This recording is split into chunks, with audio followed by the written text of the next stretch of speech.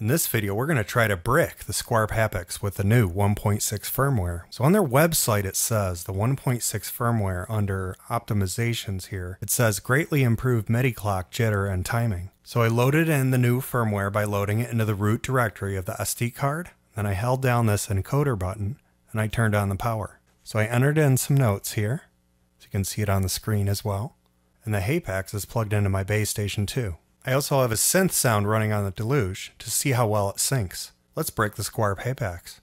So I'm going to press play on the Deluge. You can hear the different notes on the Bass Station as well as the notes here. Let's go slower. So we're going really slow tempos here. Sounds good so far. Let's go really slow.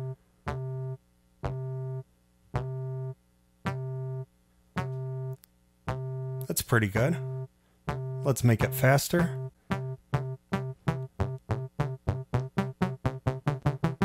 So far it's good.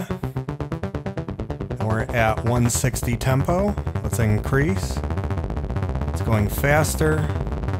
288 BPMs.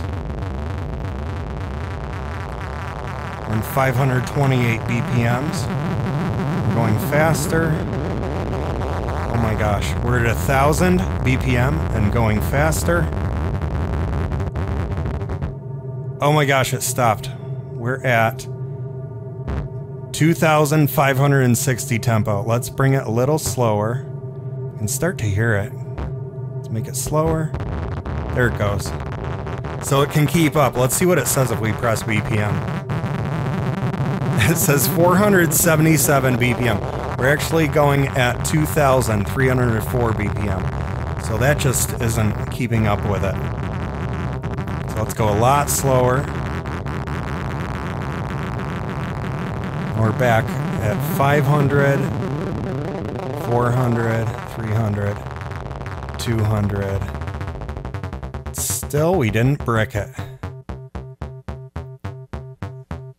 That's pretty synchronized, I think go faster just to see what happens. Let's go nuts. All the way up.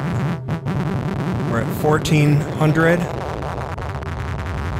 2000.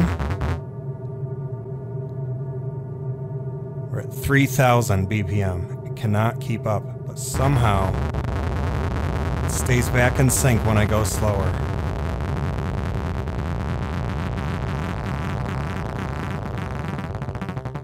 We weren't able to brick the Squarp Hapax.